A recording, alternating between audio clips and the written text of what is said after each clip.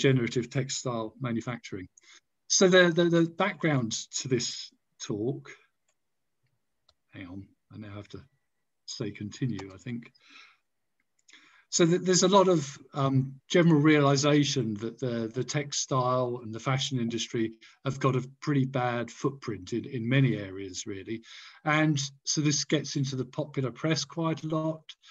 The House of Commons issued a very um, substantial report on the whole area recently, so you may have come across this before. And you know, a lot of the blame is put on fast fashion and the large amounts of clothing that people consume. But even beyond that, there, there, are, there are problems. So the fashion industry is responsible for, and this shocked me the first time I saw this, 10% of global greenhouse gas emissions. That's more than aviation and shipping combined, which is quite a thought. It's also responsible for 20% of global wastewater, another really staggering figure. And these are two of the leading um, credentials, if you like, that let us know that the fashion industry really does need to consider change. If we look at the fashion sector in the UK, so it's a big sector generally. It's worth 32 billion pounds to the UK economy each year, employs 890,000 people, so approaching a million. We in the UK consume a million tons of textile each year, and most of that ends up. So there's an equivalent get an equivalent amount gets into the waste system each year. Most of the textiles and the garments that we use in the UK are imported. There is some manufacturing in the UK of clothing, but most of the textiles are made abroad. And in fact, the majority of the clothing items are made abroad as well. As I said, most of this ends up in the waste sector, and a lot of it ends up in waste, uh, in landfill and in incineration, which carries obviously a very negative environmental footprint in itself. And the industry or the processes involved in that are, are respons responsible for most of the waterborne microplastics in the environment as well. so even beyond those kind of considerations, a feature of the textile industry, industry if like, is that they have very non-transparent supply chains. A lot of companies themselves don't have huge certainty into who's produced their, their the things that they sell. Ways in which these things produced are, are produced um, are, are, not particularly attractive. So for a lot of cotton, um, that goes into textiles. A lot of that's produced in Central Asia, and there are some well reported instances of forced labour and very poor labour conditions in that part of the sector. Poor worker conditions in textile mills and, and sweatshops are, very well known, um, particularly in Asian countries, but even here in the UK, it's, it's not unheard of. And then there's the widespread environmental pollution, which I've talked about, and the image at the bottom on the right there shows a river in China. The color of that river is the result of textile dyes. Now the Chinese are working hard actually to clean up their environmental act, but the, the, the impacts of this activity throughout the world is really verging on the disastrous. So the Ellen MacArthur Foundation, uh, uh, uh, uh, renowned for advocating a move towards a circular economy, and they produced a report on the fashion sector recently, and a lot of fashion hacks, fashion houses have signed up to the um, principles of the Ellen MacArthur Foundation and circularity. But what they've signed up to do is to try and aspire towards it. So the next two slides have images from that Ellen MacArthur report. The first one shows the current state of play, which is a, a, a linear supply for textile production. And the image shows the emissions in terms of greenhouse gases and um, other products as we go along the chain. so the production of fiber for textiles, a lot of it comes from synthetics, i.e. produced ostensibly from oil. And there's a large associated uh, carbon footprint with that. But even the natural fibers, I'm wearing a cotton t-shirt that's made from natural fibers, which always sounds good, but cotton is a really um, bad crop in terms of its environmental footprint. So I referred to Central Asia just now. The Caspian Sea has been largely drained to irrigate cotton. There's almost nothing left in the Caspian Sea at the moment. Um, and because also in terms of a crop, it, it has the worst footprint in terms of pesticide use in the world as well. Then clothing production, I've already touched on dyeing and the water pollution that's associated with finishing and dyeing in, in the textile business. Go along to use. Um, I mentioned microplastics in the environment. So the biggest source of microplastics getting into waterways and into the oceans actually is through your washing machine. And these are microfibers that come out of your clothes when you wash them. And as I said, a large proportion of them are synthetic. Those are things like polyesters and nylon, which are non-biodegradable and can last for tens or hundreds of years. So that, that's causing severe problems. And as I said, after use, eventually nearly all of it ends up in landfill or incineration with obvious consequences. So the aspiration as put forward by the Ellen MacArthur Foundation and held by most people is shown in this slide. So if we go around the circle, this is a move towards a more circular supply chain, a circular economy. So they're advocating to phase out substances of concern, particularly microfibers coming from synthetic textiles. There's an aim to increase clothing utilization important. You know, a lot of the clothes we buy now are very cheap, they're very poorly made, and they don't last very long, and often actually made not to last long. And there's an assumption that people don't wear them very long because of changes in fashion and things like that. So they're, they're pushing for people to design and make clothes that last longer and to get consumers engaged with their clothing in a different way than they currently are. And then the two areas which um, my talk is mostly concerned with are the third and the fourth. Um, the third is to radically improve the way that we recycle textiles. Currently, it's really very ineffective. I'm going to touch on that again in, I think, the next slide or the one after that. And the fourth one is to make more effective use of resources and, and to move to renewable inputs. So my talk's really focused on this. Improve recycling, more effective recycling, greater use of renewable inputs into the supply chain. So I said I'd touch on what's the trouble with recycling at the moment. So most recycling methods are mechanically based. So the approach is essentially you've got item of clothing like my t-shirt here. This is made of natural fibers, but these are woven there's a yarn produced which is then woven into this fabric. The fibers in here are very tightly tied into that. They're also dyed and finished, so they're colored. This one's black. If you mechanically recover the fibers from here, you can only make something black with them. Many items of clothing are actually multicolored, making this even more problematic. When you try to mechanically recover fibers from textiles, they get very damaged in the process, so they're of low value too. Many textiles are made with polymer blends, which makes that even more difficult. And removing fasteners and zips, um, etc., is, is extremely problematic. The net result is that reused fibers are of extremely low quality and can be used for a very narrow range of um, poor applications, if you like.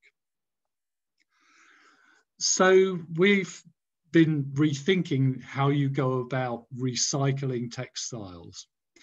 And what this slide shows is the structure of a textile fiber. So I focused on cotton because the talk I'm going to give you is mostly about cellulosic textiles, which include things like cotton. But the image more or less applies to any textile fiber. So it could be a polyester or nylon, for example. In all cases, the fibers themselves are, are composed of polymers, which are, if you like, um, wrapped around each other to form the large fiber, which you can see with your naked eye. if you break that down, you can then start to see these polymers, which I've indicated with the word polymer very cleverly on there, coming out of the fiber. And if we focus down on that, which is shown at the bottom of the slide, and I can use my mouse and point this out, we can start to see that these polymers are basically chains of monomers, small units that are then chemically bonded to one another. In the case of these chemical units are actually just glucose. This, that's a, a, very simple sugar, one that you can eat if you like. And it's the same sugar that makes up starch actually, but the polymer is different. So it makes a very strong, um, resistant fiber rather than a very digestible one. So fibers are made of polymers and polymers are made of monomers. So the next slide illustrates the route that we're taking to recycle textiles. So we start off here with this old t-shirt. This one's from 1976, few survive that long. Um, this is a cotton t-shirt, so it's principally composed or completely composed of cellulose. And what we can do is depolymerize the cellulose back into the constituent monomers, which as I said in this case are glucose, sugars. We can then take those sugars and repolymerize them to make brand new cellulose. So the, we have a picture at the bottom there of some new cellulose fibers that have been produced from the monomers. Sure go the right way. We can then take those cellulose fibers and spin them, spin those, and then weave that to produce a new textile and then fabricate that 20 version of the ACDC t-shirt.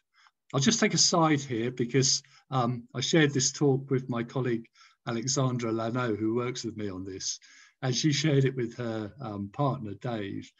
And he said that my use of the ACDC t-shirt was really appropriate because they've been recycling the same song for 40 years. That made me laugh, and then I shared that with my partner Claire.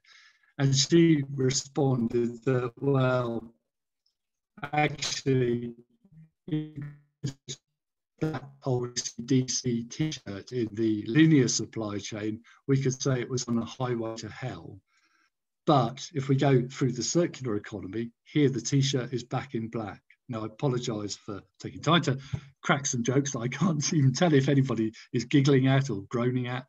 Um, and you'd have to know ACDC to have any response to that as well. Anyway, forget my stupid attempts at humour. Focus back on the um, circle, the circuit I've, I've drawn here of depolymerizing, repolymerizing, spinning, weaving, and fabricating. And I'll try and walk you through the process as we're working it. So I've already said this, but I'll reiterate it. Our focus at the moment is on cellulosic materials. So these are things that we would often refer to as natural fibers, cotton, linen, even bamboo. People are making uh, clothing out of these days. All of these use plant fibers, which are made of cellulose. And then there are the semi-synthetics, which also make up a fairly big proportion of all the textiles around. And these are made of regenerated cellulose fibers, normally extracted from trees, which are then, that cellulose is then dissolved and then spun into completely um, different fibers with different properties. So usually very attractive properties, different qualities to cotton, for example. And these are things like viscose, rayon, lyocell, and tencel, to name a few items. So all of these are cellulosics and all can be broken back down to the monomers that we need to make new cellulose as a way of recycling them.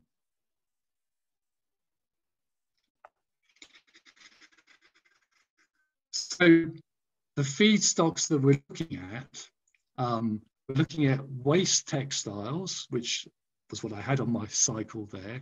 But if we were to just harken back to the circular economy slide from the Ellen MacArthur Foundation, um, you'd see that we also have an interest in bringing new renewable feedstocks into this circular economy as well. So we've been looking at other waste feedstocks, if you like, And these include over on the right-hand side, crop residues like wheat straw, which is what's shown here, which is one of our favorite subject substrates for this work.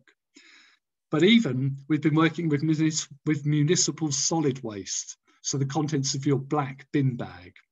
So we've worked with a company called Wilson Biochemical, who have a really effective process where they autoclave bad black bin waste. That material then is sterilized in that process and homogenized. The metals, glass, and plastic are extracted from it on a conveyor belt. And you end up with a fibrous material, which is basically the residue of all the organic materials, and particularly things from paper-based and cardboard-based materials. And that makes up a big proportion of your black bin bag. And that, that fiber is essentially cellulosic. And so we use that as a source of material to produce the glucose to make new cellulose for new textiles as well. So back to the diagram, and I'll tell you about the system we're working on for the depolymerization of the cellulose into monomers. Now you can do this very simply by taking that t-shirt um, and immersing it in concentrated sulfuric acid and heating it to about 120 degrees centigrade, and it will break down into the individual glucose monomers. But you can probably tell from that description that's a very unsustainable process. It's a nasty chemical that you've got to get rid of at the end of the process. It's expensive, it uses a lot of energy, and it really is not a good way to so what we're doing instead is we're using enzymes, which I've referred to here as nature's catalysts. Now, enzymes are the molecular machines that make you run. They basically catalyze all of the biochemical processes that build you and produce energy for you to function as a human being. And they're, they're basically the machines that drive all life processes. And what we're interested in is digestive enzymes, enzymes that have evolved um, or has been designed, if you like, through evolution to um, digest things, in this case, back into monomers. So the images on the right reveal the structure of a, an enzyme. So these things you know, are molecular entities. They've got a three-dimensional shape. And the easiest one to look at is probably the B one in the diagram, the blobby kind of grey-white one. And so the blobby grey-white thing is the enzyme. The blue area is the part of the enzyme in this case, which binds its substrate. And the substrate in this case is cellulose, the material we want to digest. And in the middle of that enzyme, you'll see a red region as well. And this is what's called the active site. It's a site which catalyzes the chemistry. And in this case, that chemistry is to break the bonds between the individual glucose monomers and release them. So this is a, a biocatalyst, if you like. In this case, for digesting cellulose, which is what we want. And on the, on the left, I've got text that summarizes why enzymes are so attractive. So functionally, they speed up chemical reactions. They make chemical reactions happen under much milder conditions than they possibly could do without a catalyst like this taking part. They're highly specific. So this cellulase in the diagram won't digest anything else. It will only digest cellulose. It's evolved specifically to do that job. The key thing is that they work at low temperatures and pressures, and they work in water. So you've got no need to use things like concentrated acids to do this kind of job. The enzymes will do it for you, and they'll do it at low temperature and in water. So these are environmentally benign chemical tools. The next slide shows um, the device that we use for doing this enzyme hydrolysis. So what you can see here is a, um, cylinder. Fail on me when I do it. Um, but this thing is tumbling, and that's so that we get a lot of agitation into it. And what you can see, the brown stuff in there is ground up wheat straw with some enzymes added. And when we add them, there's very little water. There's a bit of water in it to help get things going, but it's like a very, very thick um, papier mâche, if you like. As the enzymes get to work, they break down all the polymers in, in, in, in the wheat straw in this case, or it might be in some used clothing as well, and turn this into a liquid solution at the end you end up with a, a, soup of sugars, principally glucose, which is what we're after. So that will transform that from a solid material into a glucose-rich liquid. So that was the depolymerization step to get our starting material down into the monomers, which we've said are glucose. The next step I'll tell you about is how we polymerize that back into new cellulose. To do that, we use a process known as fermentation, which is defined as a process by which you can transform something into something else using microbes. Now, the microbes themselves, just like you and me, are running based on a whole series, complex series of enzymatic reactions. And the beauty of using microbes is that they can harness all of those enzymes for the job you want it, them to do. The, the one that we're most familiar with is Saccharomyces cerevisiae, which is brewer's yeast. And we've got a picture of the John Smith Brewery in Tadcaster on the right, just to reassure you that this is a very familiar process. So these yeast are used to transform sugars like glucose which come from malting barley. So the starch in barley gets converted into glucose in that process. And then the yeast ferment that to produce ethanol, which is an alcohol, which is the pleasurable part of beer, if you like, or wine or vodka or, or whatever. So the same process used to make biofuels as well. So that's the principle of fermentation. In the case of our work with cellulose, We've chosen to work with a bacterium whose name I can never pronounce. I'll have a go at it and no doubt get it wrong. Comatagibacter xylinus. Used to be called Acetobacter xylinus when I was young and when I first started working on it. I still haven't got over the name change. You don't need to remember that for any good purpose.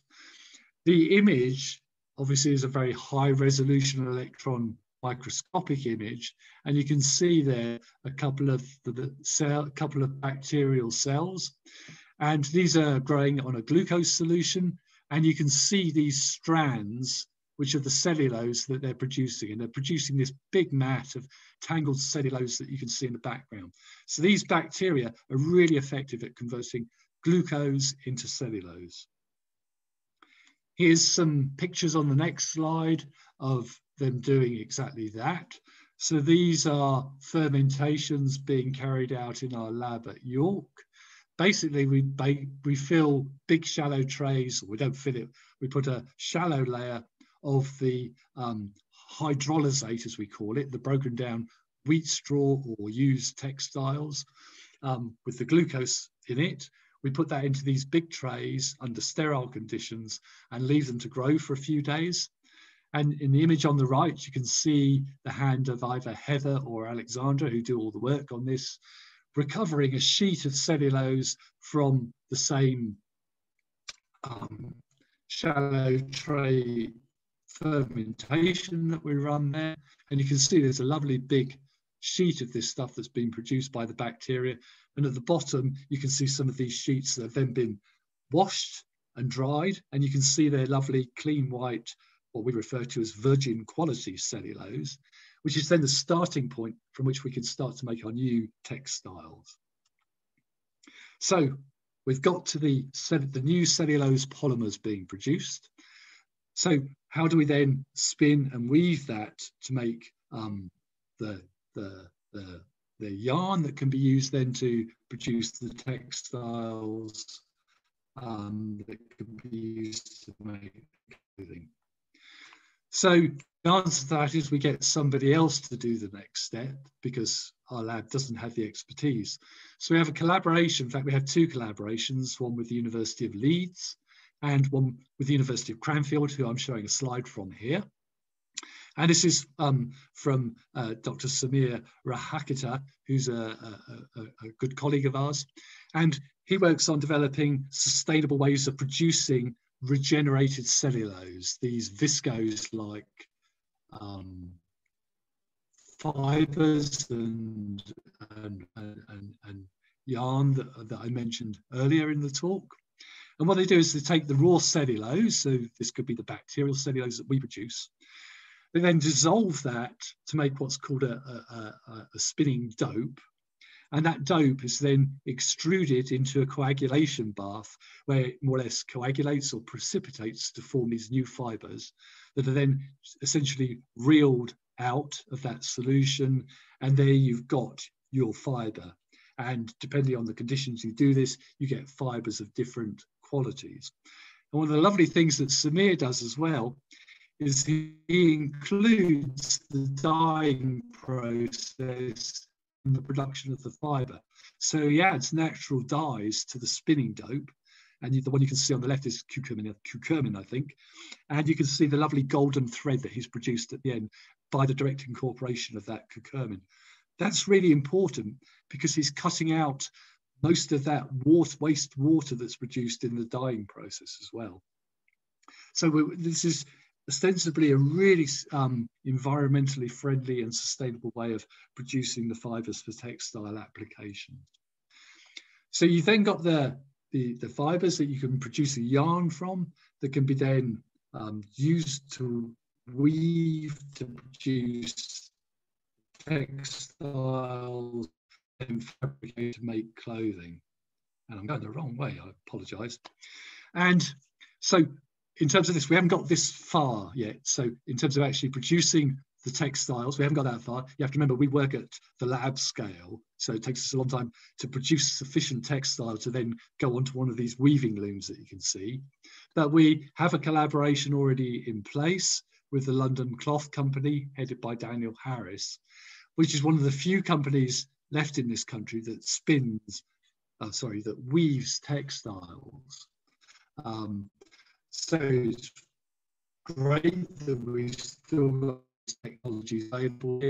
remember, well, you won't remember, but from history lessons, you'll remember that yeah, this whole textile industry is what made um, our country rich in the um, 18th century. So that, that gives us our favoured route towards textiles that can then be used to make clothing. But on the right, you can see a very odd looking garment that was designed and produced by a fashion designer called Suzanne Lee, who's been using bacterial cellulose, very similar um, cellulose to the way that we produce it. The trick here is that the bacteria will produce, produce a sheet of cellulose in the shape of whatever vessel it is you grow them in. So you can essentially grow a panel for a shirt, or in this case, a blouse, which is what Suzanne has done here. Now, that bacterial cellulose um, is a very tough material, but I have to tell you that in its raw form, it's not exactly the most comfortable feeling um, material that I've ever experienced. It's fairly rough. And it's also quite water absorbent compared to what you normally associate with clothing. So it's non-ideal, but you can in fact produce the panels and stitch together clothing directly. And as part of the work we're doing, we're looking at ways that we can modify that bacterial cellulose for this direct synthesis, if you like, templating and synthesis of textiles as well. But my instinct from what we've seen so far is that the regenerated cellulose is probably the better route to go. So that brings us getting towards the end of my talk and brings us back to the Ellen MacArthur um, circular economy slide. And so I just want to reiterate the point that the technologies we're working on allow us to introduce this kind of radical improvement to recycling by breaking the material down into the monomers and then making brand new virgin quality polymers that we can then bring into that textile thing. We can cut out the use of cotton and, and as well. And not only produce them from old textiles, but also from some of these other things, including municipal solid waste. You can have to persuade people that wearing clothes made out of rubbish is cool, which may take some doing, but you can do it. And the sustainability of doing that is really, really good. The other thing we're doing is making more effective use of um, renewable inputs and, and natural resources.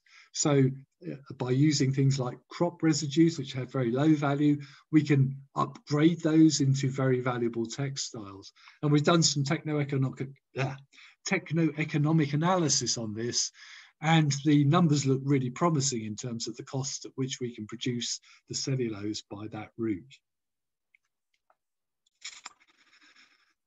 Finally, um, I keep saying finally, I'll keep saying that for the next three or four slides. I apologize. Um, but we're also looking at a way of broadening this concept, if you like, and I'll just give you a, a brief flavour of it.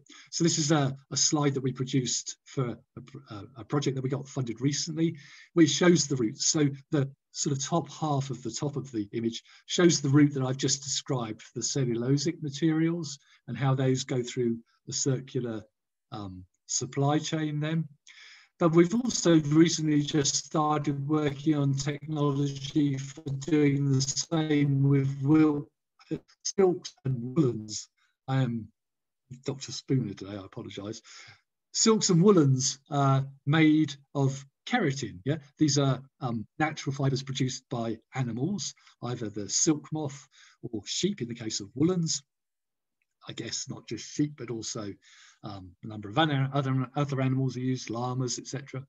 Um, and these are very strong, stable polymers, which is why you can use them in clothing. But they are actually proteins. They're made of the same thing as, as those enzymes I was describing, but structurally they're very different. And they're made in a way that makes them very tough and very resistant in the environment. But there's one or two odd creatures that have evolved that could eat these things. So the one that we have a, a nuisance in our house with at the moment are or is the clothes moth. And if you ever get an infestation of clothes moths in your house, you'll know it pretty quickly. They'll eat wool-based carpets. We've got bold areas in our carpets which have been chewed up by the clothes moths. And I've lost a couple of jumpers to them in the last few years. And we're working hard to get rid of them at the moment.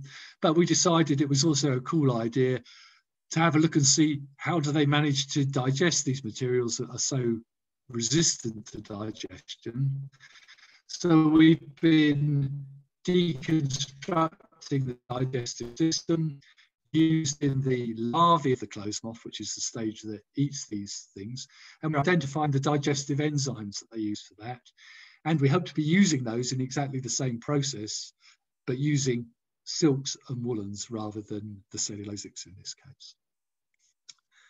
and another finally, so just a sort of summary, this um, process that we're working on um, eliminates waste. So we use waste as a feedstock for this process, circularizing that economy. It allows us to use domestic resources. I said at the beginning, most textiles are, are imported into this country now. This way, we can actually make our own textiles out of our wastes. That reduces our dependence on imported materials. This process has got a really good carbon footprint. So this will fashion sector. The sort of um, approaches I was talking about that Samir is developing in Cranfield will really help eliminate eventually wastewater from the dyeing and finishing of the textile fibers. Using these cellulosic based materials in place of synthetics gives us a route to avoiding um, the microplastics. So cellulose particles, of course, do come off in the washing machine, but they're biodegradable and disappear quite rapidly in the water. It gives us an opportunity to, re, to reshore, I return to the UK textile manufacturing, and that would stimulate clean growth and new jobs as well. My next finally is to say thanks for the funding that's enabled us to do this. And most of this has come from UKRI. So the uh, BBSRC and the EPSRC have both funded projects in this, as has the Biomass Biorefinery Network. And at the bottom, I've just indicated something called the Textile Circularity Centre, which has just been funded by the EPSRC, in which we're a partner in. This is led by the Royal College of Art in London, and it in, encompasses the whole textile supply chain and brings in expertise from the complete supply chain, lots of end users in their fashion companies as well. And it's looking at how we can use um, renewable technologies. And the principal one at the base of that whole project is this one that I've just described that we're developing here at York. Um, this has only just been announced, the funding for this. It won't start until January, but there is a temporary website which you could visit if you're interested to learn more about that centre. I'd like to thank the people that did the work. As ever, I love thanking myself, so I put myself in the middle of these pictures. Alexandra Lanot and Heather Eastman are the powerhouses in the lab. They're doing all the work. Samir Rahatekar, I introduced you to with his work at Cranfield just now. And I want to thank um, Miriam Ribul at the Royal College of Art and Sharon Baurley, who heads um, the group that Miriam works in there. And they were instrumental in getting us engaged in this sector. They approached us a couple of years ago. They knew that we worked on these sorts of biotechnological applications and said, are there ways you could apply these in the textile sector? And my first response was, I doubt it. But then when we started looking into it, we, we realized we had all the bits to hand, more or less, that would enable us to do that. And we've spent the last year or so investigating that, and it's working out incredibly promisingly, I would say. Finally, um, I just wanted to point up the Bio Yorkshire innovation deal that's being developed, um, not just by the university, but they're leading on this, which the project I just described sits kind of comfortably within that whole concept of using um, renewable technology in the area. And if you go to the Bio Yorkshire website, you can find out a lot more deal, um, a lot more information on the um, innovation deal which they're negotiating with the government at the moment. And finally, finally, finally, thank you. and um, if I can remember how to do it, I can answer questions. I think, Peter, you might be going to throw them at me because I, at the moment, am not looking at the Q&A. Oh, I can see it. I, yeah. Do you want me to read them or do you want to? No, no, Simon, I need to thank you. And I'm going to give you a quick break whilst I launch another quick poll.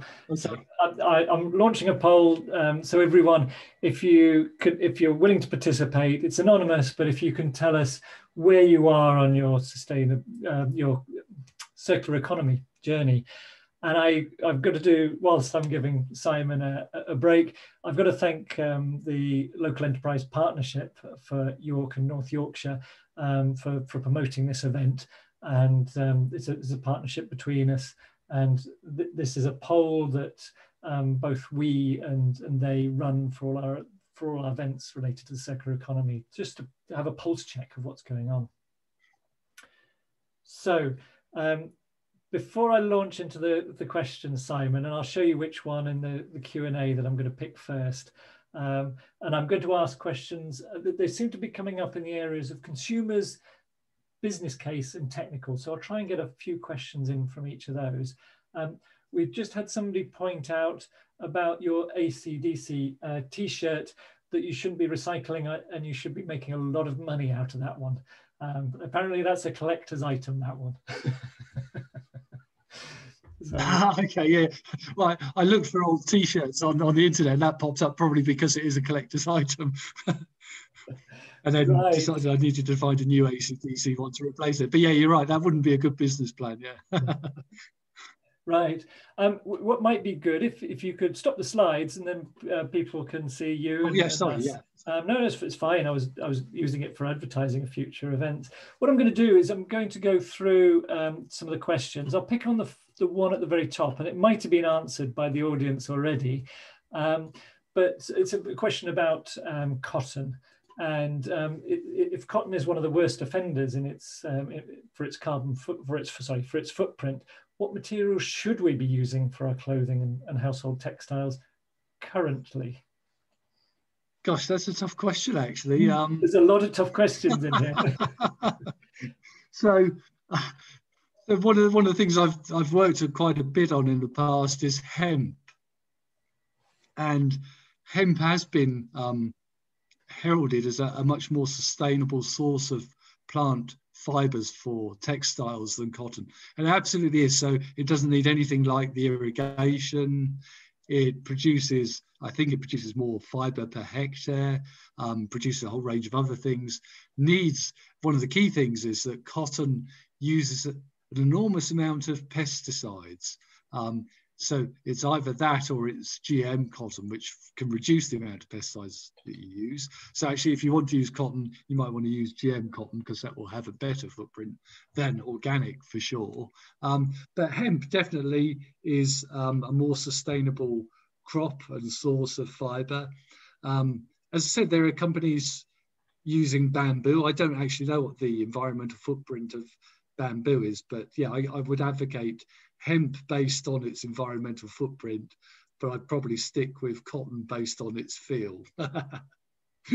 so linen is um, sort of similar to to I think the fight yeah the sort of textiles you get from linen are very similar to the ones that you get from hemp. So that that that comes from flax actually. I think its environmental footprint isn't as good as hemp, but I think the textiles are quite similar.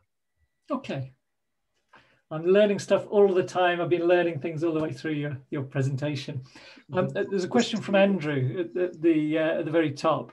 Many garments have made, as you pointed out, from multiple um, items such as uh, buttons, zips, and studs, but also different fabrics. So, um, is there any technology that can separate these components to support recycling? I think not at the moment. I think it is one of the big issues, and you know, it, it is even even you know like even just try to so I was talking to somebody that was in the textile recycling and reusing um, field, and even just chopping up textiles is a nightmare, um, and getting the fibers out of them is even harder. And the zips and studs and things make that you know particularly difficult because they're going to damage any machinery that you do with it. Uh, and one of the things that yeah I, I've thought, and we haven't actually tried this yet, is that you know the enzyme approach is a really nice one because if you can effectively dissolve the textiles, if you had synthetic zips or metal fastenings and things like that, they mm-hmm. should all be left alone. The enzymes, as I said, are very specific. So in in in in, in my ideal world, you could use enzymes to turn the garments into soup, you know, for making new cellulose, and leave the zips and fasteners behind. As far as I know, there's nothing currently that works very well to do that job.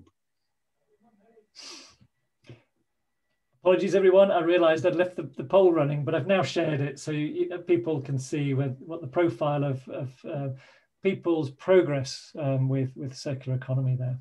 I'll leave that up for a little bit, and I'll jump on to a, a another question. Um, and I've just lost it off my screen. Oh, there it is.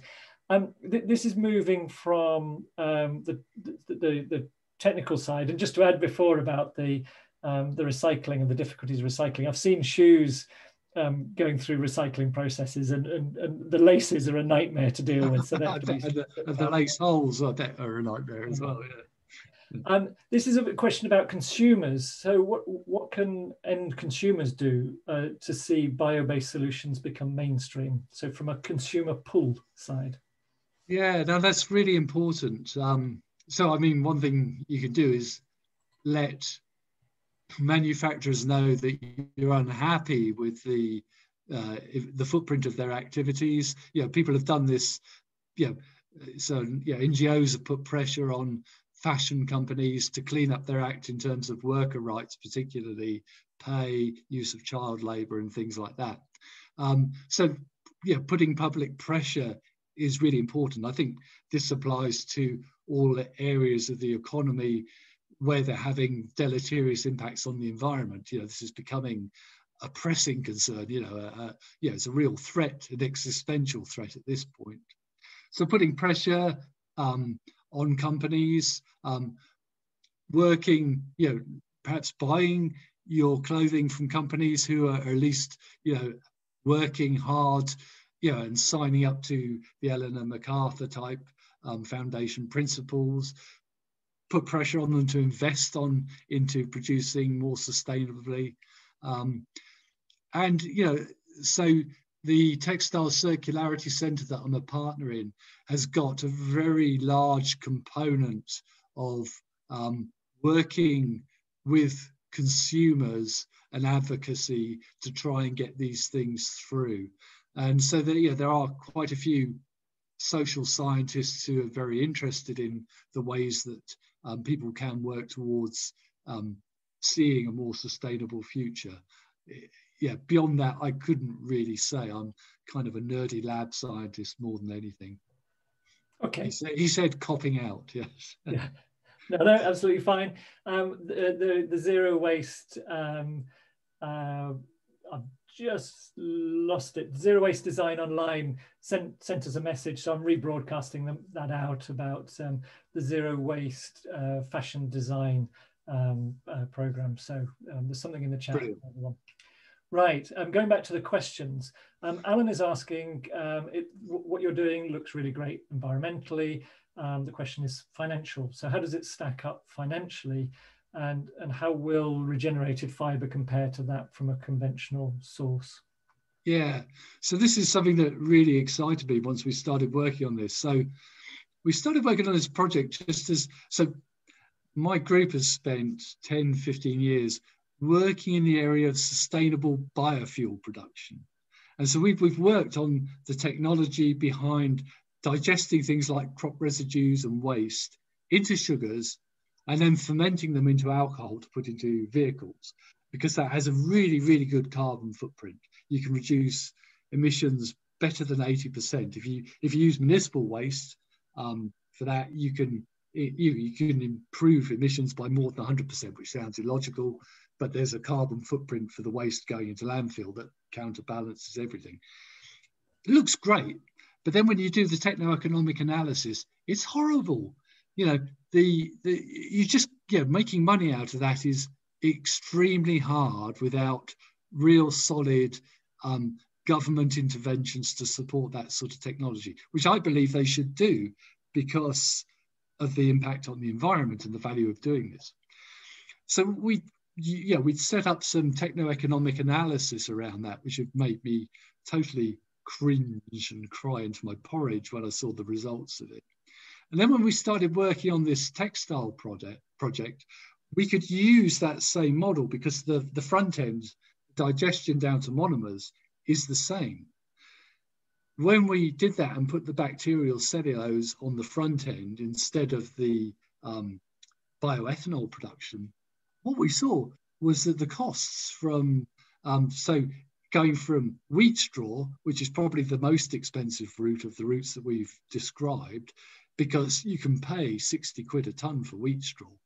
But we could still bring in that bacterial cellulose in at the same price or just below the prices that we could get from the spot market for dissolving pulp, which is the cellulose that's produced from trees that then goes into the regenerated cellulose market. If we use um, municipal solid waste, we're in a different ballpark altogether. And that, but that, that's because of if you take stuff that's destined for landfill, people will pay you to take it off their hands. So that changes the economics completely. And you can almost make money out of anything out of doing that. But, you know, from wheat straw, and and the same from used clothing. Again the economics is really good there because they have almost no value or a negative value if you like. People will pay you to take it off their hands. But even from the wheat straw if we buy that off the um, commodity markets if you like we could make our cellulose um, at a commercially competitive price.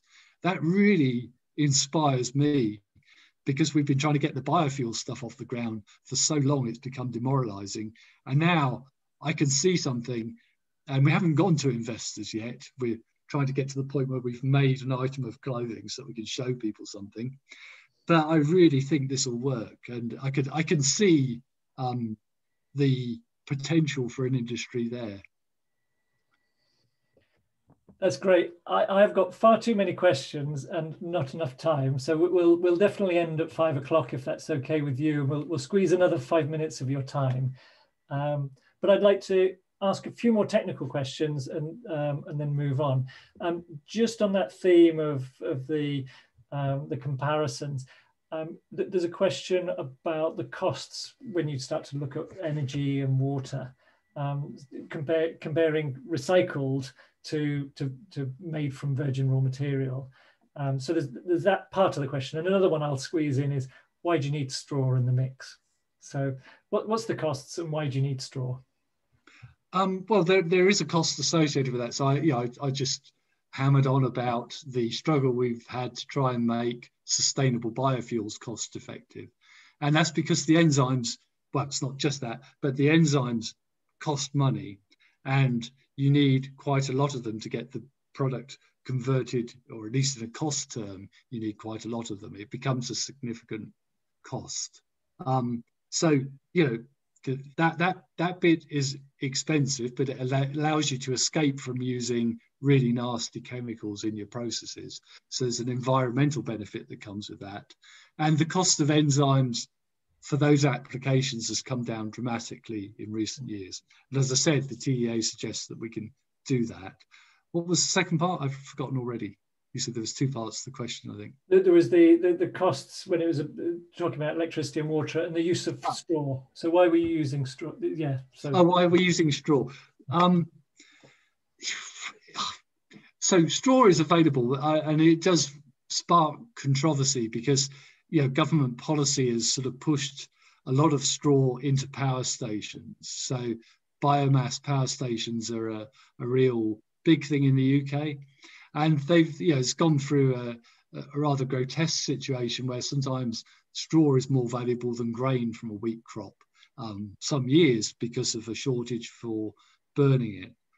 That said, um, there are there is usually surplus straw available, and as I pointed out in my uh, comments just now, our techno-economic analysis says that you know, we can make money out of buying straw at competition with the energy companies for doing that.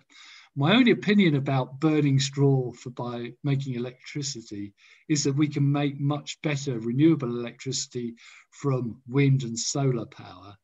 But you know, you can't make new textiles out of solar power, but you can take those organic um, waste materials, if you like, and you can use those to produce the sugars to make the new textiles. So you can decarbonize electricity with wind, solar, nuclear, but you can't decarbonize textiles by that route. But you can take that biomass and decarbonize it that way.